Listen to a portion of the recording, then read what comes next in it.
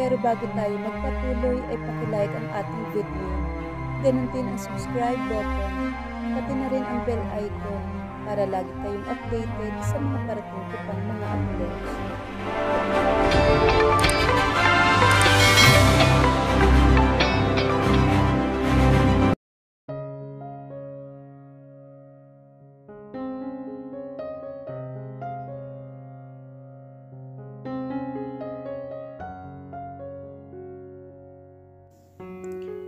Nakasandal siya sa puno niya nang ibinagsak nito ang sarili sa kabilang puno nito. Tiningnan niya ito. Kumunot ang noo niya nang makitang may dugo ito sa mga labi. Ano nangyari sa iyo? Wala. Ibinaba niya ang libro at lumapit dito. Hinawakan niya ang mukha nito at tiningnan ang sugat nito sa mga labi nito. May alkohol ka ba? Bakit hindi ka dumiretso sa klinik? You don't have to do that. Tiningnan niya ang bag nito na buti naman ay may lamang alkohol. Kinuha niya ang panyo sa bulsa at nilagyan iyon ng kaunting alkohol. Dahan-dahan niyang idinampi iyon sa sugat nito. Umigik ito kaya hinawakan niya ang gilid ng ulo nito. Sino bang nakaaway mo? Wala. Hula ko babae yan no. Babae lang naman ang pinag-aawayan niyo eh. Well, bukod sa basketball siguro at mga laro pa. Wala ito. Uwi ka ni Vincent. Tinignan niya ito saglit bago nagkibit balikat. Sige na nga. Tinapos niya ang paglalagay ng alkohol sa sugat nito.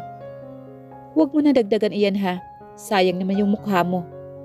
Bumalik na siya sa pagkakaupo sa puno niya. Okay ka lang ba talaga, Castellano? Payak itong ngumiti. Yeah. Hindi na niya ito kinulit dahil mukhang ayaw nga nitong pag-usapan. Nanatili silang tahimik hanggang sumapit ang tanghalian. Pilit na lamang niyang ibinalik ang isip sa pag-aaral hanggang mag-uwian na sila.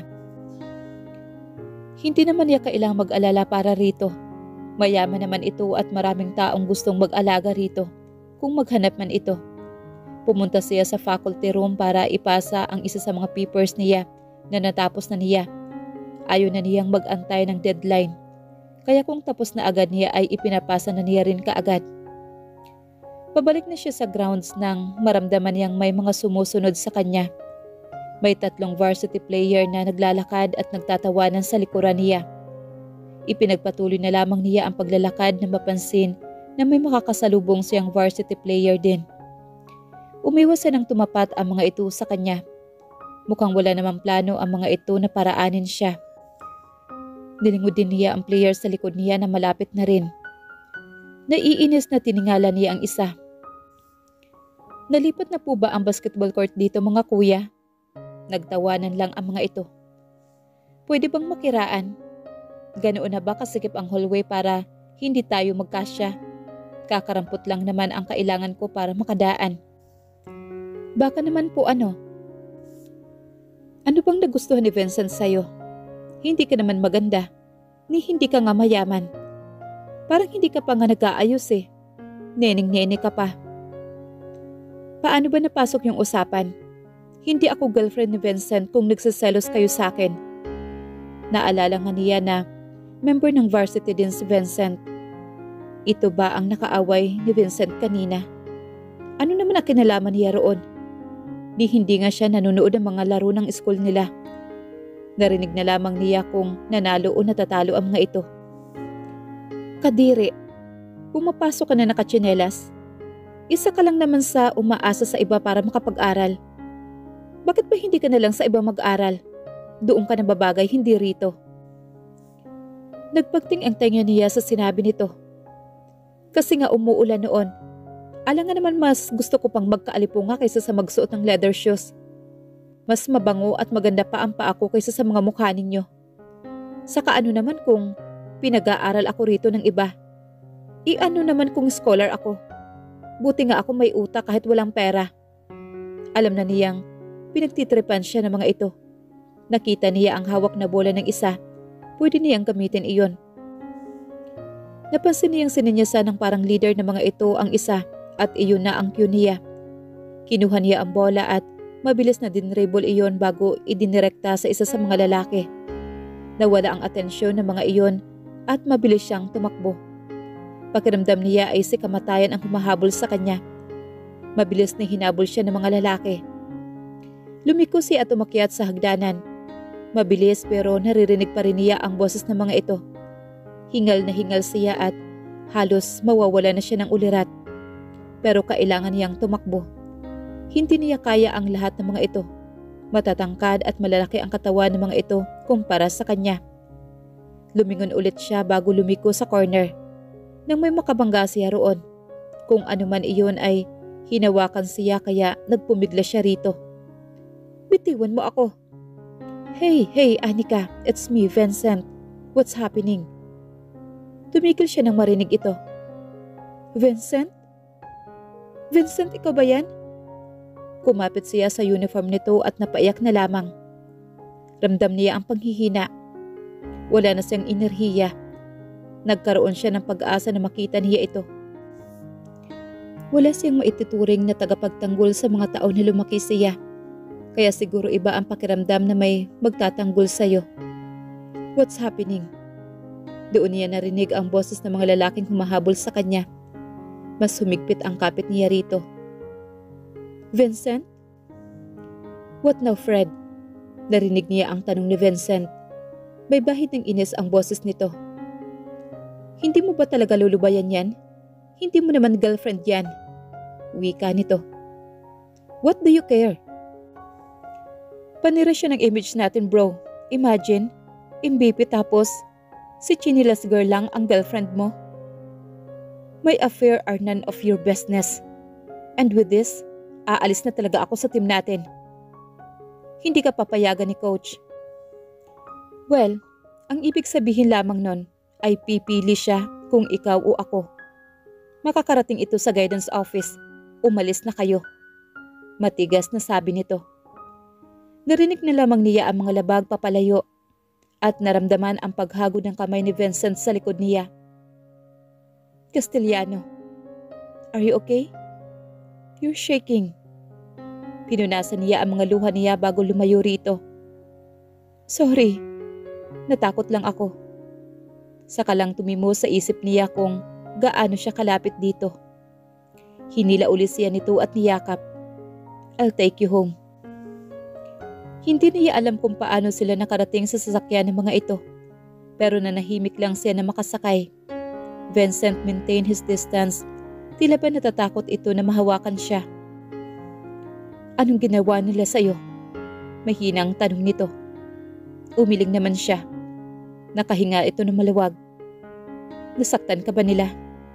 Umiling uli siya. Can I do anything to make you feel better? Sila ba ang dahilan kung bakit may sugat ka sa mga labi? Dahil ba sa akin yun, Vincent? Pinahahalagahan ng mga gagong iyon ang imahe nila. At ang pagiging malapit ko sa iyo ay hindi nila nagustuhan. Because you're not in the circle. Hindi ka raw bagay sa akin. Wala namang namamagitan sa atin. Nag-uusap lang tayo paminsan-minsan. Ikaw kasi, feeling close ka kaagad. Sorry, nang dahil sa akin nangyari ito. Wika nito.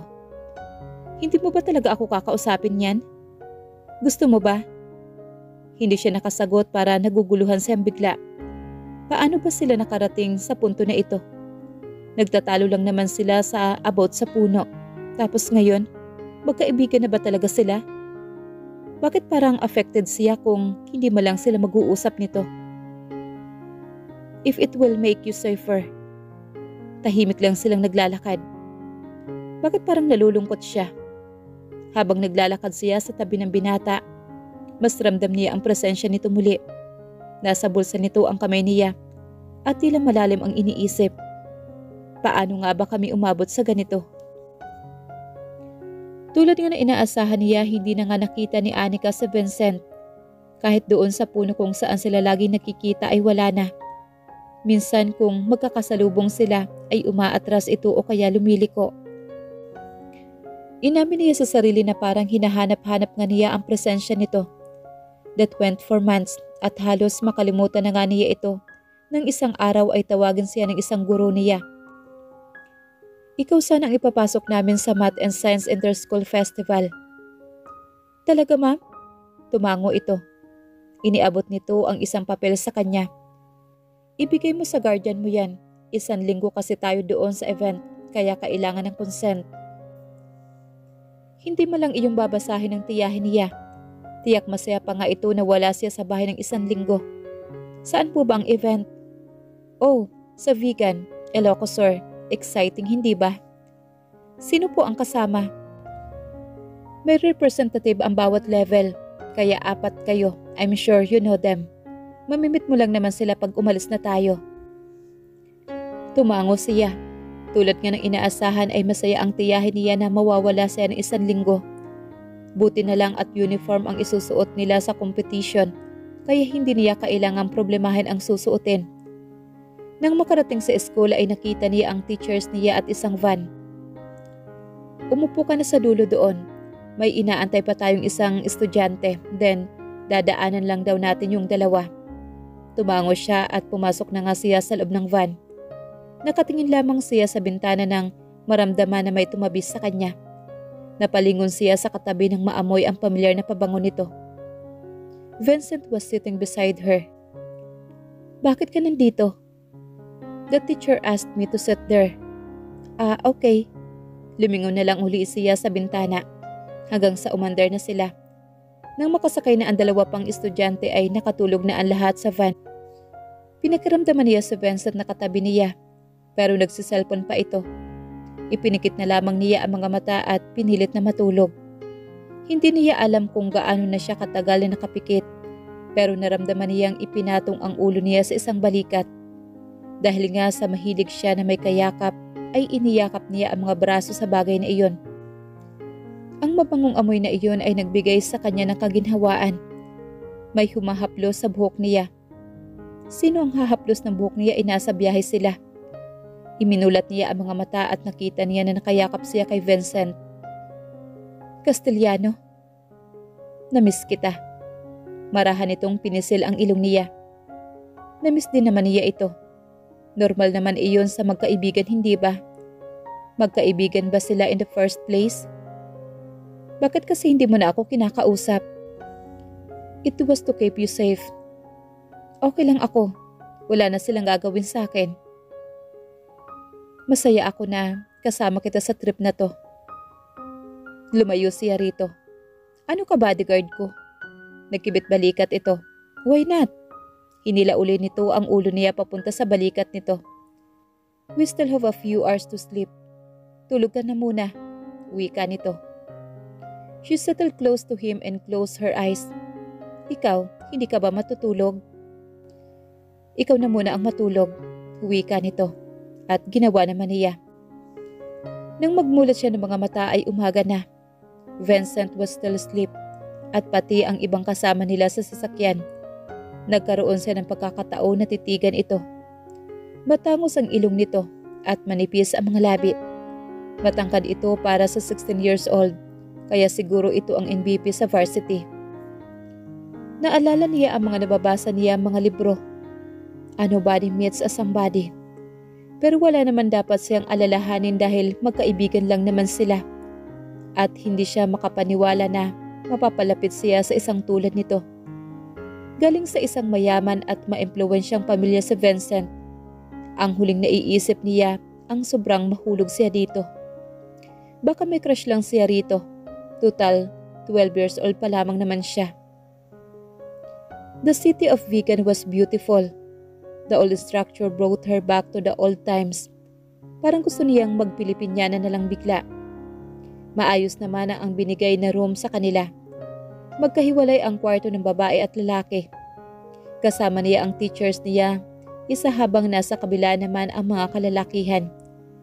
Pwede pa sila magpahinga buong hapon bago sila kakain sa labas ng hapunan. Inayos niya ang mga gamit nang marinig niya ang teachers niya Nililigawan ka ba ni Mr. Castellano? Natawa naman siya. Hindi po ma'am. Bakit niyo naman po naiisip yan? Magkaibigan lang po kami. Sa kabata pa po ako. Iiba na nga ang bata ngayon, ang aga-aga magkanobyo. Tama naman po kayo riyan. Pero magkaibigan lang po talaga kami ni Mr. Castellano. Hindi mo ba siya crush? Ang daming babaeng nagkakagusto sa batang yon. Magkaibigan lang po talaga kami. Humarap ito sa kanya at hinawakan ang kamay niya. Ang maipapayo ko lamang sa iyo, enjoyin mo ang kabataan mo. Lalo na kapag tumanda ka na at magkanobyo ka na. Huwag mong kakalimutang tuparin din ang mga pangarap mo. Maraming kabataan ngayon na kapag na broken hearted eh, nagpapariwara na. Sayang at mukhang mataas pa naman ang pangarap mo. Sige po ma'am, tatandaan ko po yan. May pinagdaraanan ba ang guru niya? Bakit nagbibigay ito ng love advice sa kanya? Eh, 12 anyos pa lang naman siya. Kinagabihan ay kumain sila sa isa sa mga restaurant sa Kalye Crisologo. Napakasarap ng bagnet at longganisa. Nagkanya-kanya muna sila ng lakad at magkikita na lang daw ng alas 10 ng gabi. Naiwan sila ni Vincent na magkasama kaya ito ang kasama niya habang naglalakad-lakad. Malapit na ang graduation mo ah, sabi niya rito. Kung hindi siya nagkakamali ay may apat na buwan pa. Yeah. Excited ka na ba? Magka-college ka na. Parang ayaw ko pang graduate. Kumunot naman ang noon niya. Bakit naman? Ibig sabihin, pupunta na ako sa university.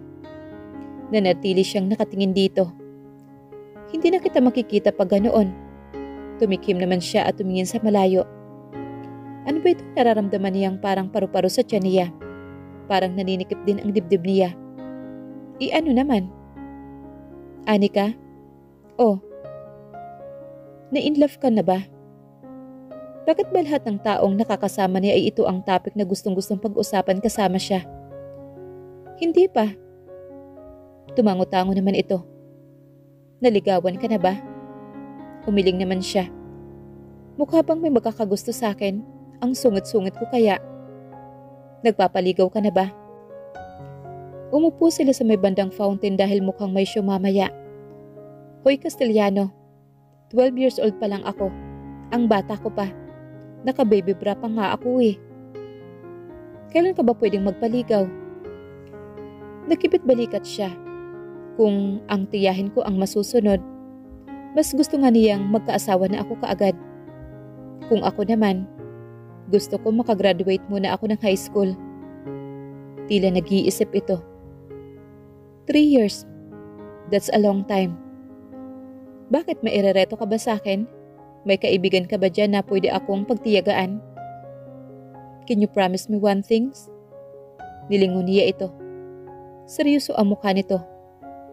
Ano ba yon Castellano? Pwede bang huwag ka munang magpaligaw kapag nakagraduate ka na? may ipapakilala ako sa iyo. Nakaramdam siya ng disappointed sa sinabi nito. May ipapakilala itong iba sa kanya. I-ano naman? Hindi naman siya umaasa na siya talaga ang liligawan nito. Wala namang nakapila. Saka hindi naman ako atat. That's good enough for me. Nakangiting sabi nito. Inintay nila ang dancing fountain na show at habang nanonood sila ng show, ay namalaya niya ang kinagap nito at pinisil ang mga kamay niya. At muli tila may mga paru-paro sa loob niya at tila bahagyang nanikip ang dibdib niya.